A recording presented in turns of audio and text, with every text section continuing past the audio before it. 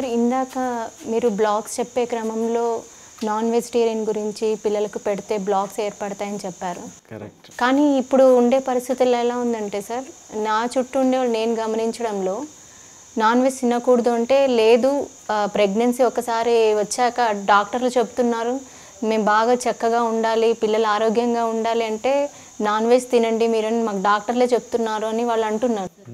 ఇది ఎలాగా మరి? ఇదంతా కూడా సరిగ్గా మనకి అవగాహన లేకపోవడం ద్వారా సమగ్రమైనటువంటి జ్ఞానం లోపించడం ద్వారా ఇలాంటి మనం అసత్యాలని మనం చెప్పడం జరుగుతుంది. మన మాంసకృతులు మరి కార్బోహైడ్రేట్స్ అని అంటాము ప్రోటీన్స్ అని అంటాము ఇవన్నీ కూడా డాక్టర్స్ ఏమనుకుంటారంటే వైద్యులంతా కూడా ఇవి యానిమల్స్ నుంచే మనం మీట్ తిన్నప్పుడు మాంసాన్ని కోడిగుడ్డుల్ని ఈ చేపల్ని అవి తింటే మాత్రమే వస్తుందని అనుకుంటారు ఎక్కువ. కానీ అది అసత్యం. మన యొక్క మొక్కలు మొక్కల నుంచి ప్లాంట్ ప్రోడక్ట్స్ నుంచే చాలా చక్కగా ఇవన్నీ వస్తాయి మనకి. కాబట్టి ఎవరైతే ఇలా మనం మాంసాన్ని తినడము హింసతో మన ఆహారాన్ని మనం తింటే ఏమవుతుందంటే బ్లాక్స్ ఏర్పడతాయి. ఎందుకంటే ఆ హింస కూడినటువంటి ఆహారము ఎంతో పాపముతో ఉన్నటువంటి ఆహారం. ఒక యానిమల్ని చంపడం ద్వారా ఆ ఆహారాన్ని మనం సేకరించి మనలోకి స్వీకరిస్తున్నాము. ఆ ఆ బిడ్డకు కూడా అది వెళ్తుంది అది ఆ బిడ్డలో కూడా బ్లాక్స్ ఏర్పడతాయి. చిన్నప్పుడు కూడా వాడిని నువ్వు సరిగ్గా పెరగవు బోన్స్ స్ట్రాంగ్గా ఉండాలంటే నీకు బోన్ సూప్ తాగాలని చెప్పి ఆ పేరెంట్స్ కొట్టి మరీ బోన్ సూప్ని తాగించడము. లేకపోతే ఎగ్స్ ఉంటాయి గుడ్లు. ఆ సొన బాగా ప్రోటీన్ వస్తుందని దాంతో నీకు బాగా పటిష్టంగా కాల్షియం అన్నీ వస్తాయని చెప్పి ఆ యొక్క ఎగ్స్ బాగా పెట్టడము కొట్టి పెడుతుంటారు. ఏ చిన్నపిల్లవాడు తినరనమాట ఎందుకంటే న్యాచురల్గానే సహజంగానే చిన్నపిల్లలకి వాళ్ళ యొక్క ఈ నాలుక రిజెక్ట్ చేస్తుంది. ఆహా ఈ మాంసాహారం తినదు. చిన్నపిల్లలకి ఇష్టమే లేదు. కానీ పెద్దవాళ్ళు వాళ్ళకి ఆ రుచిని కల్పిస్తారు. స్లోగా వాడిని కొట్టి కొట్టి నోట్లో బలవంతం చేసి పెట్టడం ద్వారా వాళ్ళకి అలవాటైపోతుంది అది సో అది ఎంత మాత్రం కరెక్ట్ కాదు. దానివలన ఎన్ని బ్లాక్స్ ఏర్పడతాయంటే హింస అంతా కూడా మనం చూసే హింస అంతా కూడా ఈ మాంసాహారం నుంచే వచ్చింది. ఎంత భయంకరమైనటువంటి బ్యాడ్ కర్మ అంటే మనకు ఆ ఆ యొక్క ఇది లేదు. అంటే ఒక జీవిని హాని చేసి హింస ద్వారా వాడిని చంపి మనం తినే ఆ యొక్క అది మనది కాదు. అది పాపం చుట్టుకుంటుంది. అంటే load of bad karma negative karma అన్నమాట. ఎలా అంటే ఒక రాక్షసుల కింద చెప్పవచ్చు అనమాట అంటే విమర్శన కాదు అది సత్యమే. నేను ఒకప్పుడు మాంసాహారిని.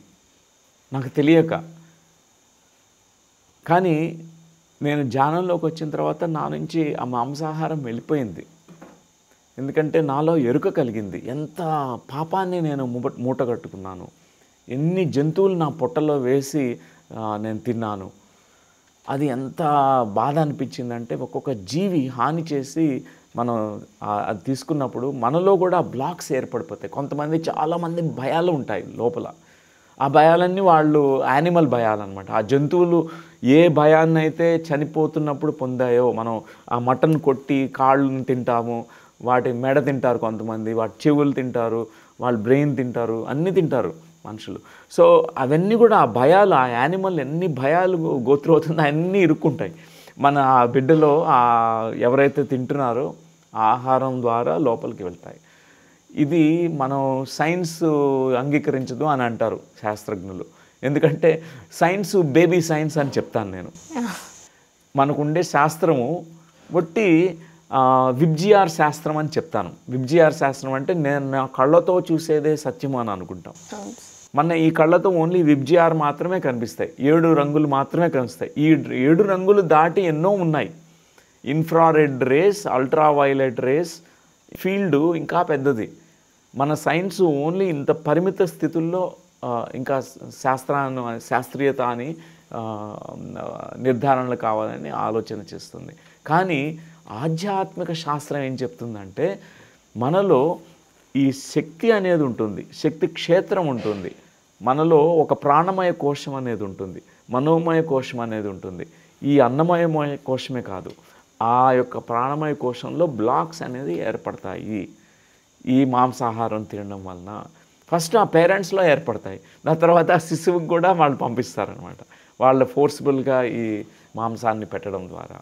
కాబట్టి ఎంత మాత్రము ఇది కరెక్ట్ కాదనమాట.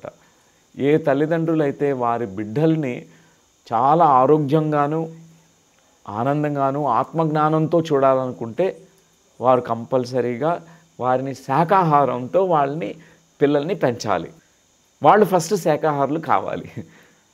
అయితే వాళ్ళు పే- చిన్నపిల్లలు వాళ్ళు కూడా గొప్పగా సాత్వికం ఎంతో సత్వక గుణమైనటువంటి ఆలోచనలు ఉంటాయి. ఇప్పుడు తమో గుణంతో ఉన్నారనుకోండి ఎక్కువ తమో గుణం వస్తుంది. మాంసకృతులను తింటే మాంసాన్ని తింటే. ఆ తమో గుణంతో ఎంత నెగిటివిటీ అంటే అన్ని నెగిటివ్ ఆలోచనలు. అందరినీ కొట్టాలి ఆగ్రహంతో అందరినీ తిట్టాలి లేకపోతే వాళ్ళు సోమరితనం వచ్చేస్తుంది. ప్రతి ఒక్కటి రేపు చేస్తాను ఎల్లుండి చేస్తాను. వాళ్ళు ఇప్పుడు చేయాల్సిన పని ఎప్పుడు కూడా సంవత్సరాలు సంవత్సరాలు పోస్ట్పోన్ చేసేస్తారు ఇదంతా తమోగుణ ప్రధానం ప్రధానులకు వస్తుంది. లేకపోతే ఆ రజోగుణం పెరిగిపోతుంది. ఆగ్రహావేశాలు కోపావేశాలు క్రోధము ఇవన్నీ వచ్చేస్తాయి. ఇవన్నీ మాంసం నుంచే ఈ యొక్క నాన్ వెజిటేరియన్ ఫుడ్ నుంచి. సో ఎంతో ఇంపార్టెంట్ ఆధ్యాత్మిక పిల్లల పెంపకంలో ఇది కూడా ఒక ప్రధానమైనటువంటి అంశం ఏంటంటే శాకాహారంతో పిల్లల్ని పెంచడము. బలం ఇస్తున్నామనే అపోహతో ఇక్కడ బ్లాక్లు ఏర్పడుస్తుంది. తల్లి. నిజంగా బలం ప్లాంట్ ప్రోడక్ట్స్ నుంచే వస్తుంది. ఆ మొక్కల నుంచి మనకి రానటువంటిది ఏమీ ఉండదు. ఏనుగు ఒట్టి ఈ యొక్క గ్రాస్ గ్రీన్ గ్రాస్ మాత్రమే తింటుంది. అంటే పచ్చ చెట్లను మాత్రమే తింటుంది అది. అది ఎంత బలవంతో ఉన్నటువంటి జీవం మనకు తెలుసు. జంతువు మనకు తెలుసు. తెలుసు. హ్యూమన్ బీయింగ్ కూడా చక్కగా ప్లాంట్ ఓన్లీ ప్లాంట్స్ నుంచే మనకు కావాల్సినటువంటి న్యూట్రిషన్ మొత్తం వచ్చేస్తుంది. వైటమిన్స్ నుంచి ఆల్ న్యూట్రియంట్స్ వస్తాయి. Proteins carbohydrates lipids. బ్యాలెన్స్ సమతుల్యతతో ఉన్నటువంటి ఆహారం మనకి శాకాహారం నుంచే వస్తుంది. ఇది అపోహ. మనకు తెలియకపోవడం వలన. కానీ ఇప్పుడు చాలామంది వైద్యులకు కూడా ఈ విషయం తెలుసు. వాళ్ళు కూడా రెస్పెక్ట్ చేస్తున్నారు. సో వాళ్ళు కూడా రికమెండ్ చేయడం అనేది చేయట్లేదు. చాలా తక్కువైంది. నేను కూడా వైద్యుడినే. కాబట్టి నేను చెప్పగలను ఈ విషయం. నా ఫ్రెండ్స్లో చాలామందిలో ఆ మార్పు వచ్చింది. వాళ్ళు కూడా ఫోర్స్ చేయట్లేదు ఎవరిని. వాళ్ళని ఎందుకంటే ఆ చాయిస్ అనేది ఇవ్వాలి. వెజిటేరియన్ బై చాయిస్ ఎందుకంటే అది మన ఆరోగ్యాన్ని కానీ మన యొక్క జీవితాన్ని ఒక గొప్ప స్థాయిలోకి తీసుకెళ్ళడానికి ఉన్న స్థితి నుంచి ఉన్నత స్థితిలోకి తీసుకెళ్ళడానికి ఉపయోగపడుతుంది ఈ శాకాహారము అనేది. అంటే గర్భిణీ స్త్రీ చక్కటి శాకాహారంతో ఒక పండంటి బిడ్డని జన్మనివ్వచ్చు. కరెక్ట్ మేడం కరెక్ట్ వర్డ్స్ చెప్పారు. పండంటి బిడ్డని వాళ్ళు జన్మనివ్వచ్చు అనమాట ఆ గర్భిణీ స్త్రీలకి ఇది ముఖ్యమైనటువంటి అంశం.